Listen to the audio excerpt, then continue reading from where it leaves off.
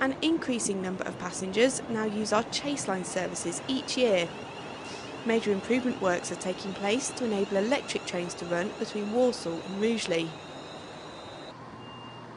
Hello, I'm Rob Hornsey, Head of Cross City and Chase Line Services. Overhead wires are currently only installed as far as Walsall, so we run diesel trains for our Birmingham to Rugeley services.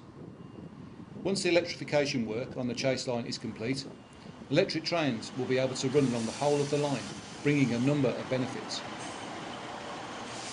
Electric trains are quieter, faster and more environmentally friendly. They can also carry more passengers than the diesel trains that we currently use.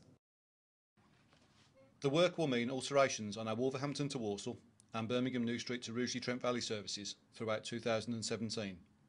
On Saturday the 10th of June, Sundays from the 11th of June to the 30th of July, from Sunday the 13th of August until Monday the 28th of August, and on Sundays from the 17th of September to the 1st of October, train services will be disrupted. From Tuesday the 22nd of August until Monday the 28th of August, buses will replace trains between Walsall and Rugeley Trent Valley.